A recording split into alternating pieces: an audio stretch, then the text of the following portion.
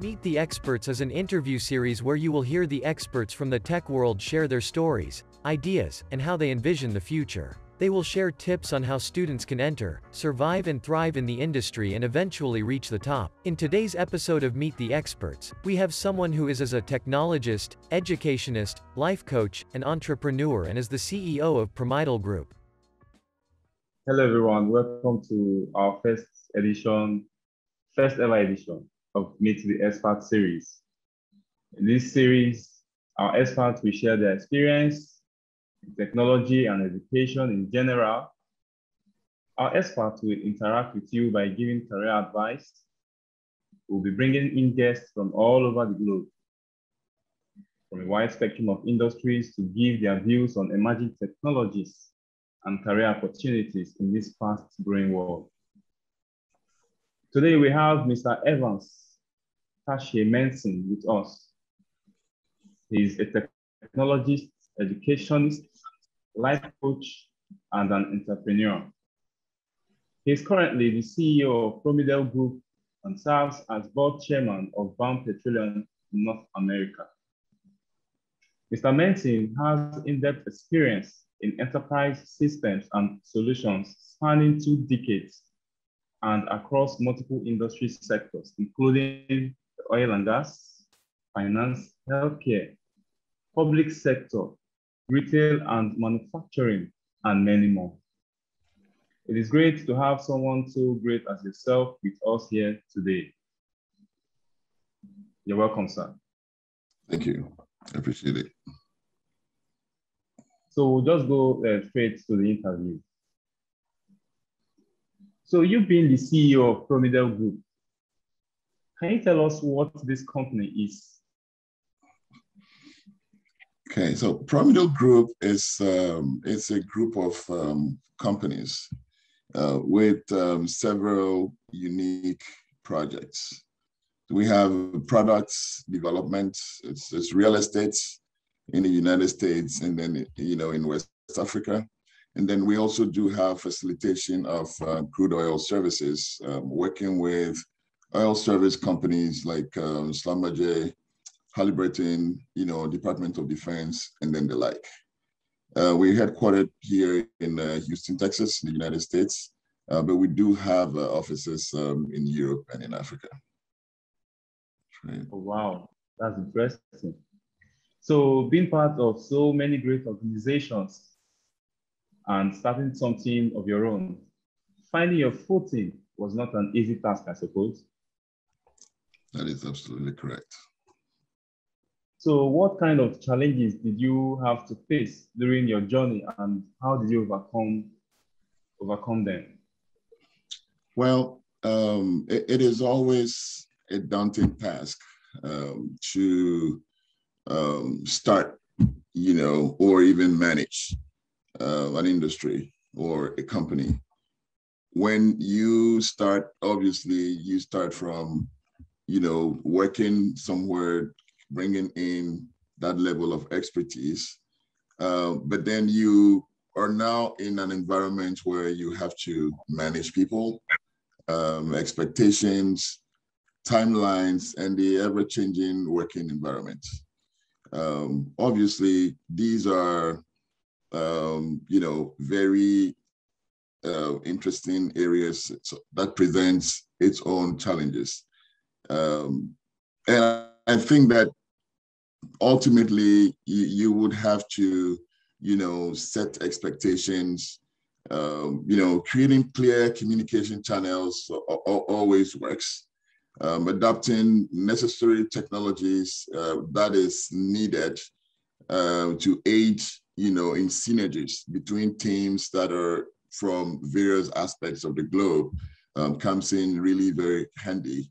Um, and you know that actually helps to seamlessly coordinate between uh, you know multiple time zones and um, you know uh, people and places you know and it's it's an ever moving target. So you're always constantly learning um, and adapting and ultimately using technology to solve a lot of the problems going. Oh wow. That's inspirational So over the years, technology has evolved greatly. What difference do you see regarding technology now and maybe 10 years ago? And how important is technology to us now? I'm sure you um, you, see a lot of these changes, you know, um, today. I mean, technology has come a, a really long way. Um, it's it's made great strides. Um, it's been very steady, very progressive, and has evolved, you know, in in so many ways that almost every aspect of our lives is dependent on technology, right? Um, you know, our smart, our phones are even smarter these days. Um, our homes are even more smarter. You can tell the lights when to go on and then when to go off. Uh, you know, our vehicles have become, you know, not only faster, but very skilled in a way where some vehicles are absolutely autonomous, you know, these days. Um, when you look at these, it, it obviously tells you that technology is not just here, but technology has come to stay. It has come a long way. It has a very long way to go. Now, when we bring this into the business space, we used to have um, you know, instances where companies are on premise. And when I say on premise, they have their computers and their servers right in one specific location. And especially in that part of the region in Africa where, you know, you you can have your service in one place and then the next day everything gets burned down. It's it becomes a challenge. We we have made a lot of um, um, you know, success from the area of software as, as a service, um, having cloud-based offerings that have taken center stage, you know, uh, these days. Um, uh, and obviously, this is very different than uh, on-premise, which, as I said earlier on, was very widely used um, before. Um, I, I, believe this has um, fostered growth, you know, in the ever-needing um, challenge to integrate and streamline processes across, uh, you know, systems, partnerships, and you know, networks, you know, for that matter. So it's we can we can have an entire day talking about what technology has done, uh, but it is it is it is great, you know, to see these coming in. Yeah, absolutely correct. Um, so as technology is advancing, do you think online learning is better than going to a physical campus? Absolutely. Um, you know, we we do have a more integrated globe, um, a, a, a working environment that has positively affected, you know, economies of scale. And these are a, a result of hard working people with the right skill set. You know, um, online learning has very, very unique advantages. Um, and it does have unique opportunities in the sense that you do not have to deal with the challenges that come with barriers and borders and having to travel you're having to deal with a fraction of the cost as you you know learn um, and you know study in the in the comfort of your of your home i believe i believe it is actually more focused it's a more focused um, self-paced um, learning that also gives you a global opportunity so you could be in any part of the world and and learn um, a technology and, and be able to, you know, leverage that in places like the United States or the United Kingdom or anywhere else. You don't have to get up. Um, a, sign of, of this is what happened about two years ago in this in this um, times of COVID. where most people were forced to have to stay home and then work against um, the traditional uh, mindset uh, of you know having to go into the office to work. Now we realize that we can be more effective, um, and that very same you know sentiments can be can be said of you know online education and and how it presents opportunities and and solves you know problems ultimately. So yes, uh, I think it is very very unique um, in that sense. Okay, you've worked on business intelligence, data analytics, and big data. Can you tell us a little bit about it and how important emerging technologies are? Okay.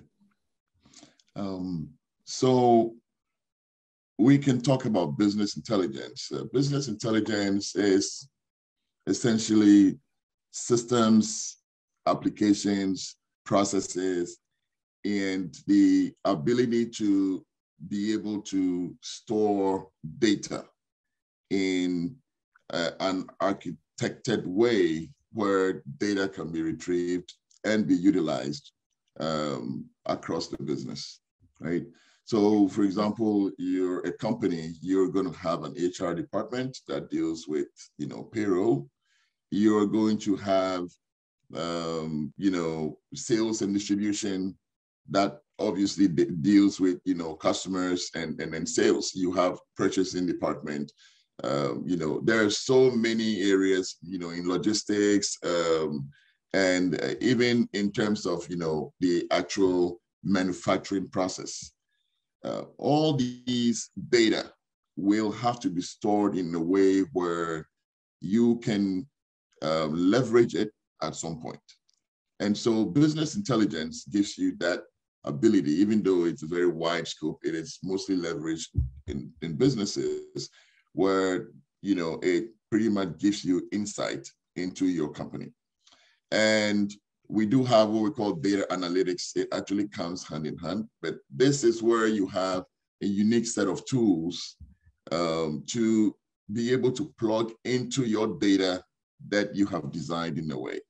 And, and with the connection of the two, you are able to do what we call slice and dice, where it's ultimately just uh, bringing in unique sets of data that answers specific questions and so you can present a data in the graphical form, you know, or in a, a visual representation that does not require you having to go through hundreds and hundreds of, um, you know, lines of Excel to sort of understand.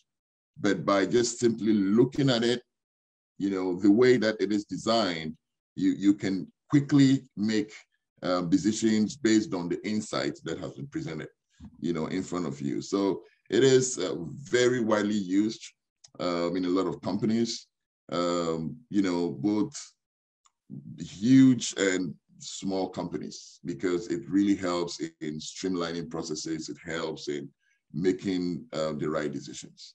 So those are, those are, you know, um, great. My favorite aspect is when we talk about big data.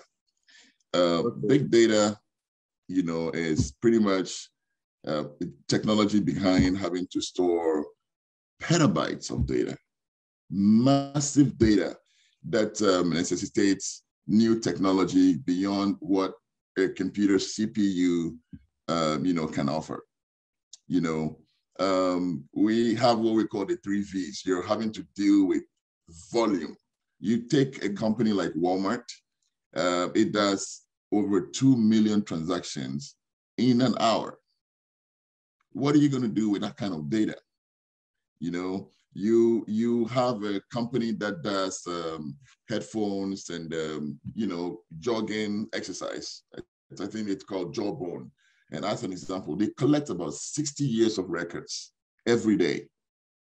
You know, uh, with the when you pair it with the Bluetooth and you're jogging and you're moving and you're going, you know, the number of steps, your heartbeat, your pulse, all of that stuff. So data is always growing. We are always tweeting, we are always chatting, we are always, you know, talking so many different things are happening. And these are all what we call structured data, right?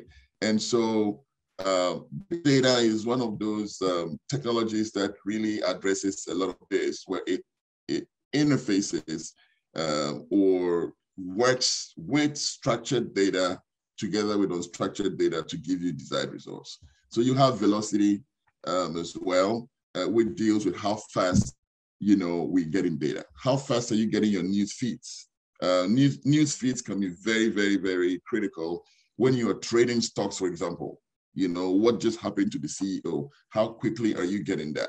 This actually helps in automatic trading algorithms that have been used. And big data has actually been leveraged about two thirds, you know, within that, um, uh, you know, namespace. And so we already seeing it. It's it's very widely uh, being used now to um, solve a lot of complex, you know, um, issues around technology. We also do have variety. We cannot talk about big data without talking about variety, because when we talk about variety, we're talking about volumes. Uh, we talked about volumes, but we're really talking about uh, versatility in terms of, you know, where is the data coming from? We have some coming from sensors, some coming from tweets, uh, charts, and so many other areas. You know, this actually helps us to really measure, uh, you know, sensitive, um, you know, data. Uh, and that obviously goes back into checking what a consumer is thinking before they buy. If you marry business data to the unstructured data, right? What what is the sentiments of um, uh, you know of a consumer or what is the sentiments of an employee being online? Um, and what are they tweeting? What are they saying about the product? What are they saying about the company? Companies are very interested in that now you know? And so there's got to be a way to be able to um, really deal with these huge amount of data that may necessarily not be able to work in one aspect where you're dealing with the CPUs or a particular computer. But in this case, we have massive computers, what we call nodes that are all interconnected from a networking standpoint, right? And then ultimately you leverage data analytics again to bring you whatever desired results that you want, because in this case, you have stored the data and you have deployed a set of um, uh, tools that facilitate how fast it can actually come out you know, deal with the volume as uh, we talked about, and also the variety of information. You know, I think that um, with with this, you are going to see constantly growing um, use from analytics that we talked about. We also step it up and talk about predictive analytics, where data will be able to help us predict what is going to happen. Then ultimately, we can even have a, a further agenda where we call prescriptive analytics, right? So, you know, you you if you can predict, ultimately you can prescribe, and you're prescribing uh, and and solving a problem today for the future. That's quite expository. Um, so to wrap this amazing section, is there any career advice you'd like to give to our students? So once you're a student, this is a very passionate area for me because um, I have trained uh, so many people, you know, across the globe um, over on YouTube and then also in classes where people came into, you know, to take classes, you know, with me. I've been a life coach. Uh, and what I always tell people is when you set up your mind to do something, you can conquer and achieve anything that you want to. We do have such a wide spectrum of courses and your ability to follow trends and make the right choices, the decision to pick up a unique course and follow it through is very key. It should not be always about what you want to do or what your parents would want you to do, but use data. Again, when you ask questions, you know, how much salary is it being, you know, given? Um, where can I get jobs? Can I only get a job just being local to my country to, you know, to do it? And if you can answer these questions so that you become uh, more um, commercial, you know, and more useful to an entire globe, then it makes it, um, you know, very palatable, you know, for you to be able to, you know, do. So yes, so, um, you know, select the right desired, you know, courses uh, based on demand. Um, focus is, is a very critical aspect. So once you have selected, you have to stay true to what you want to do. Um, focus, someone would say, is F O C U S, find one cause until successful. So you have to stay on that true course until you actually become successful. And that is what focus is. Dream big, dream, dream big. Um, ultimately, um, your dreams someone would say is, is not what you experience at night when you are asleep, but it's rather what keeps you up at night. You know, so that you are constantly thinking about um, your future and the choices that you are going to make. So obviously dream big. And my last advice is I always tell my students, be diligent. Be diligent wherever you are, whether it is in the classroom or you're working for somebody. Be diligent. Diligence is not loyalty. You do not need to be loyal. Loyalty is to your family, but diligence is to your work. And I say that because when you're diligent, you're working hard where you are, and so you actually make an impact in that organization. And you gain knowledge and insight and you acquire skills. But you have to move to the next level and to the next level, and you may have to go to so many places. So there is no need being loyal, being stuck in one place, but be diligent because that diligence will always spearhead you, take you to the next level, from one project to the other. And you're going to do great. Wow. Thank you so much for the advice. I'm sure the students will incorporate them. Thank you for joining us today. We are extremely honored for you to be part of our first ever Meet the Experts. We are coming up with more interesting conversations with guests from around the globe. Stay tuned and thank you. Thank you for having me. Appreciate it.